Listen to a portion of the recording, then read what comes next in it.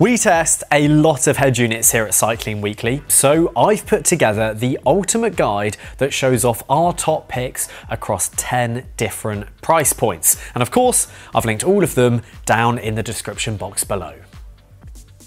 While many of us love to pore over the details of every metric available after doing a hard training session, a lot of us cyclists like to keep it simple when it comes to data. So, if it's the straightforward approach to ride tracking that you're after, then the Van Rysel BC100 will be all you need. And better still, you'll be able to get change out of a £10 note. Rather than offering a myriad of different data fields, Van Rysel's BC100 offers just five key functions. Speed, distance, time, average speed, and time of day, which really, provided you know your local roads, is all you actually need to track your riding. At just 21.6 grams, the BC100 is also the lightest computer on our list, though that doesn't include the wired connection. The lower cost does mean that the data is measured from a wired connection with your rear wheel using a magnetic system to calculate speed and distance. The downside of this, of course, is a slightly more cluttered experience and setup, as you have to route the wire as neatly as possible from the handlebars down to the chainstay. But at $9.99, we think the BC100 is still thoroughly deserving of its place on our list. If you, like me, would happily dig just a little bit deeper into your pocket to keep any more cables firmly away from your pride and joy, then you'll want to hear more about the Cateye Velo Wireless. In a similar way to the BC100, the Velo Wireless foregoes the jargon of many higher end computers in our lineup, instead focusing on getting the basics right in a budget friendly and easy to use package. The Velo Wireless uses a wheel sensor system which transmits speed, time, distance, and their respective average data to the head unit. And we found it to be a very reliable connection through our testing. Interestingly too, despite the disparity in price, the Cateye Velo Wireless returned incredibly consistent data when we compared it to much more expensive computers on the market. We were particularly impressed with its intuitive, secure mounting system and incredibly long battery life courtesy of an ever common CR2032 coin cell battery. Once again, at this price point, mapping is foregone and you won't be able to connect a power meter or any other ANT Plus device to the Cateye Velo Wireless. But for reliable, simple and cable-free recording on a budget, the Cateye ticks all of the boxes. What if you want something just a little bit more stylish? Enter the Cateye Velo Quick, a device with a very similar spec, all in a form factor that would look at home on the Apple website. Like the Velo Wireless, the Quick records data from a wireless wheel sensor, keeping life simple with just speed, distance and time data. What impressed us through our testing though was how user-friendly the device is and the impressive aesthetics, which make the device look at home on any bike. Couple that with a £45 price tag and you can understand how the Cateye Quick won our Editor's Choice Award for budget cycling computers a couple of years ago. When it comes to high-end cycling computers, head units with full GPS mapping capabilities it's hard not to consider the market being a bit of a two-horse race. We are of course talking about Wahoo and Garmin.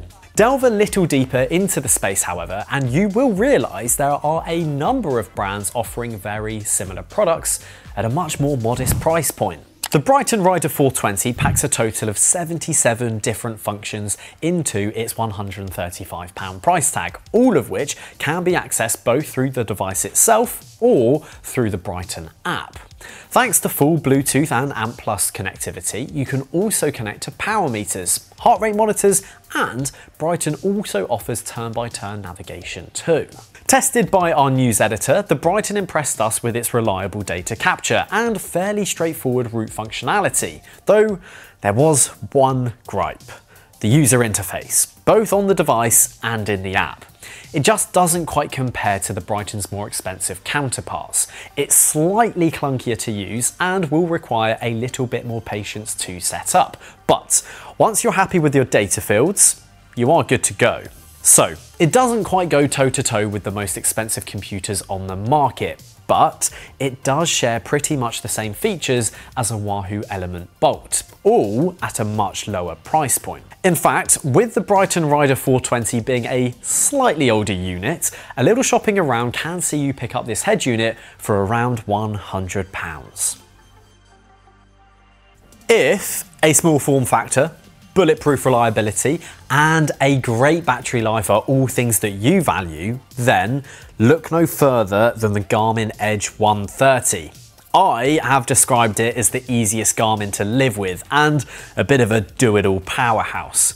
The Edge 130 is a platform that will likely cater for 90% of riders. Setup for the 130 is beautifully simple. You can set up the device from the unit itself or by connecting your phone, and then you can easily link the device to popular third-party apps such as Strava or Komoot. Visuals are handled by a 1.8 inch display, which may sound small, but its clarity and strong backlight make it easy to view in all angles. The only thing that the 130 does struggle with is mapping. Though the Edge 130 does offer full mapping capabilities, the smaller display does make navigating new lanes a little bit more of a challenge than some of our higher end head units. But again, for almost everyone at a competitive price, the Edge 130 is perfect. If mapping is at the top of your priorities though, then Garmin's Edge Explore 2 might just be a better option. It's a little more expensive, retailing at around £250, but a quick hunt around the web can easily see you pick up this head unit for around £200. The Edge Explore 2 features a crisp 3-inch touchscreen display, which is the third biggest on our list, and crucially, it's a colour display. As with most Garmin's today, setup is actually pretty simple and accessible either through the device or through the Garmin Connect app. And you can easily import route files as a number of different file types and from different third-party apps. The Edge Explore 2 is Cycling Weekly's best cycling computer for navigation for good reason. When we tested the device last year, we found mapping to be pretty much foolproof right from the get-go. We also lay particular praise on how quickly the Garmin connects to satellites. Now, this may seem small, but waiting at the start of your ride for your computer to fully wake up can actually be a little bit irritating. The Edge Explore 2 also includes a full 16 gigabytes of storage, meaning you can easily store a year's supply of routes and rides. For a very long time, the Wahoo Elemnt Bolt was considered one of the best cycling computers for racers. The small form factor, great usability, and aero optimizations made it a strong choice for those looking for a performance-based head unit, though it did have some issues with its display and durability. The V2 though totally addresses those issues, helping it achieve 4.5 stars when we tested it just over 12 months ago.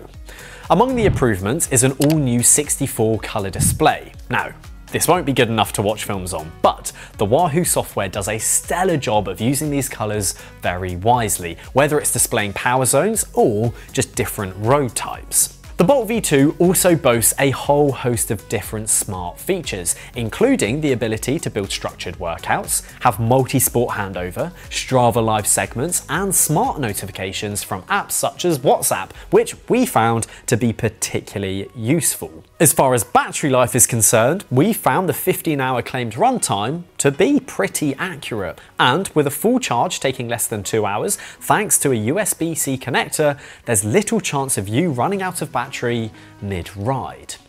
At £249.99, we think the Wahoo Elemnt Bolt V2 is seriously good value thanks to brilliant functionality and a user interface that is simply a pleasure to use.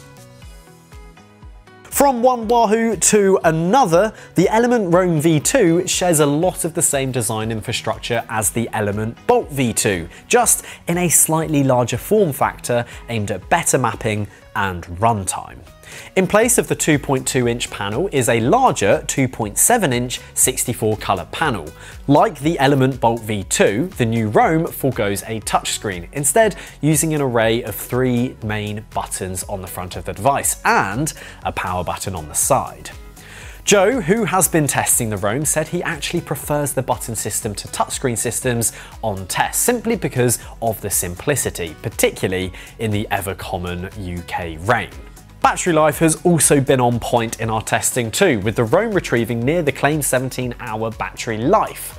Having used both the Roam and the Bolt, we think for most people, the Bolt will be just fine. But if your riding consists of longer days in the saddle and more multi-day riding where mapping is key, the Roam is a very strong choice.